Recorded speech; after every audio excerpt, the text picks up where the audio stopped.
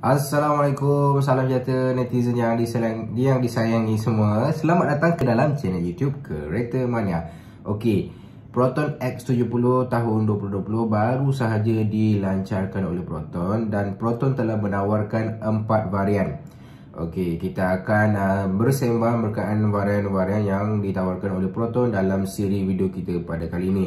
Okey, untuk siri video yang pertama, untuk episod pertama berkenaan harga yang ditawarkan oleh Proton untuk varian standard. Okey, jadi untuk kereta Proton varian standard, Proton X70 varian standard, Proton telah menawarkan enjin 1.0 turbo GDI standard two wheel drive. Dan paling penting, harga sebelum insurans untuk kereta ini adalah daripada RM94,800 Okey. RM94,800 di mana harga ini jauh lebih murah untuk harga permulaan sebuah Honda HR-V dan mana kita tahu Honda HR-V ini saiznya lebih compact, lebih kecil jika nak dibandingkan dengan Proton X70 varian standard ini. Okey. Jadi untuk kereta Proton X70 varian standard bukan sahaja dia menawarkan enjin turbo 1.8 turbo GDI 2 drive.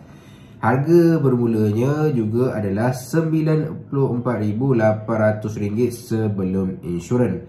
Dan kita nak tahu, hmm, RM94,000 eh, apakah yang ditawarkan oleh Proton dengan harga kereta Proton X70 varian standard ini. Okey, ini merupakan perkara-perkara yang ditawarkan oleh Proton kepada pembeli-pembeli Proton X70 standard two wheel drive. Okey, yang pertama ini merupakan base specification untuk kereta Proton X70 eh.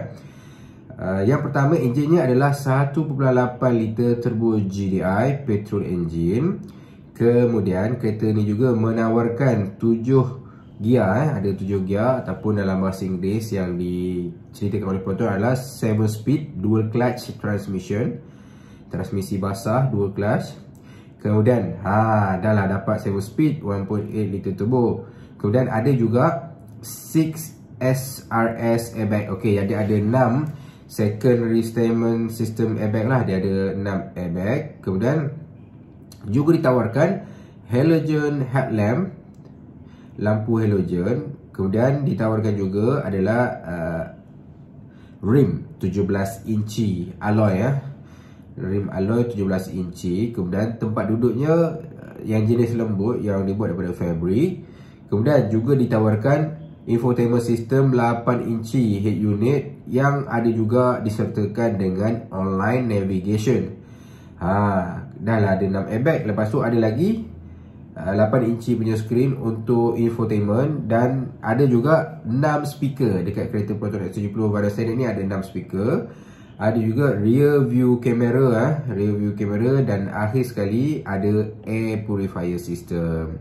Okey, jadilah itu secara ringkas untuk base specification untuk Proton X70 2020 standard two wheel drive.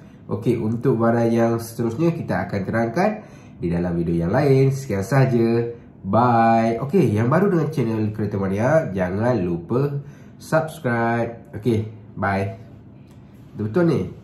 Jangan lupa subscribe.